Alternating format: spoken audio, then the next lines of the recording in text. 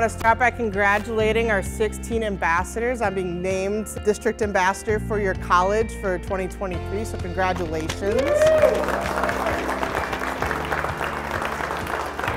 We have about 300,000 plus students who take courses throughout our system at different capacities, but you are one of 16 representing each of those colleges. So that's a pretty exciting population of people to be a part of. Part of being ambassador for your college is showing pride for your college and your technical education, and then elevating that to the state level. Being a mother and a grandmother and starting my educational journey in my late 30s, it was something that I could do to, you know, give my children something to be proud of. It's just a really humbling experience to be going through this and that they chose me. I hope to, with this position, inspire others to know that they can achieve their career goals and, and make it happen. Just meeting those individuals who are like, it's okay, you have value, it's a safe place. I feel like that's like the true definition of student leadership. You started becoming moment makers, which makes you a leader. And it gives you the opportunity to create moments for other people that are watching you in your moment. It means the world to me. I did not think I was a leader. I thought that I was a shy, quiet girl who had nothing to say. For me, it's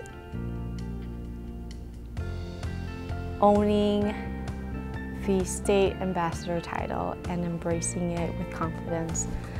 Before I was like, I don't know how to feel about it. I, I feel like I'm not important enough to be here. Some of you may think you don't even deserve to be here. That's a lie. You're here because you deserve to be here. You created this moment along with some of your college partners and your peers. You understand how powerful that is? Take the moment that you have been given. And once you have your moment, don't let anyone take it from you. You know why?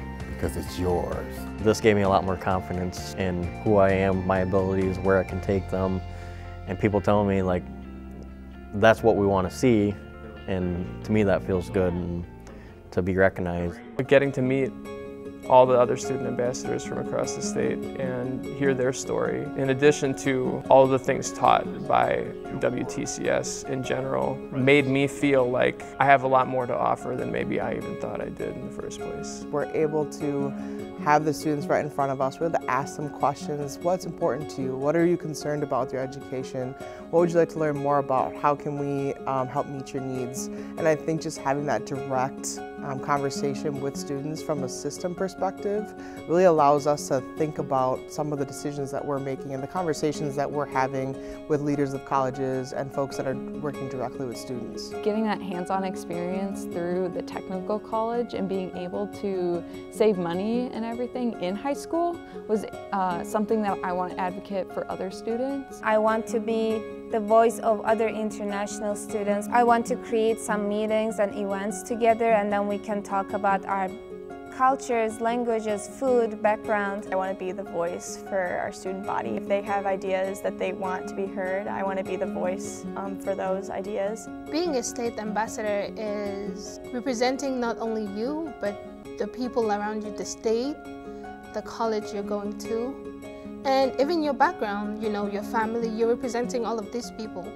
And in your mind is playing like you don't want to let them down. I know 15 other ambassadors and I believe we'll have connections for the rest of our lives. And we're here to support each other and uplift each other. Welcome everybody, uh, especially the ambassadors and your family and friends that are here tonight to acknowledge your incredible star power.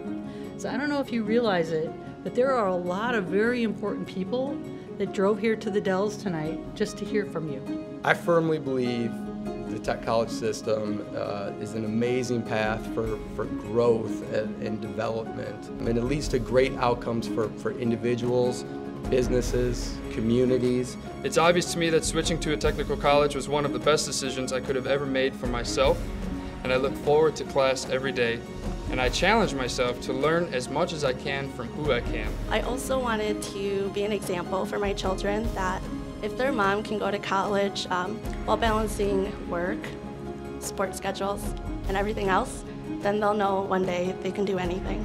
I've spent the last three years dedicated to my studies to show that no matter what life throws your way, you can handle it. There is a way to continue and a way to succeed. I get to go beyond the state board that was here and supporting us. I, I could go to the legislators and I could talk about technical colleges and I can go to the Senate and speak on issues and laws that would help improve students' lives. And 48 hours ago, I was thinking more I could be on a student panel and talk to some teachers, and that would be great. And that would still make me feel like I'm making a difference. But my role is so far beyond that now. I want to be able, as the ambassador, to just bring everybody together. One, two, three. Technical colleges are the best. Yeah! Thank you.